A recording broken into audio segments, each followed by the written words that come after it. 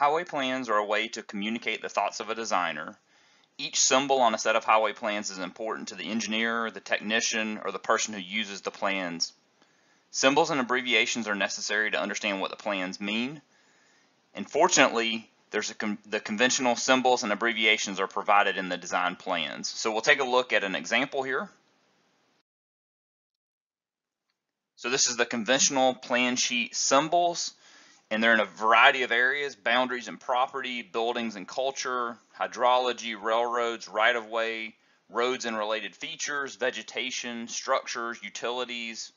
So lots of information, and this is where we go to look to identify if we see a symbol in the design plans and we don't know what it means, we can come here into this sheet to see what that symbol means and help us understand the design plan. So anytime you're stuck, if you don't understand what a symbol means, turn to this sheet to look for these conventional symbols and abbreviations to, to better understand what things mean. So I'm going to take a specific look at a couple of elements here. The cut and fill part of the proposed slope stakes. And I think this is one of those elements that can sometimes be overlooked, and I think it does have a lot of value when you're looking at design plans. So looking at an actual plan sheet here, we see a roadway, a proposed roadway, and I'm going to focus us in on the line that's associated with the, the, slope stakes. And so we see the C associated with this line here. So these are the cut sections in the, this is a cut section related to our roadway with the slope stakes. And then we move along, we see some Fs. So those are for the fill. So those sections are in fill.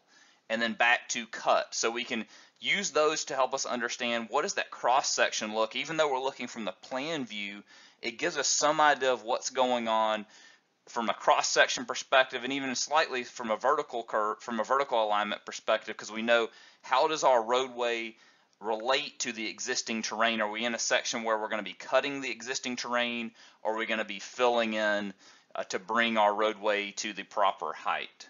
So again, just an example here of a couple of symbols. If you had seen the C and the F on this design plan, maybe you didn't know what that was, you could go back to that conventional symbol sheet and understand what those mean.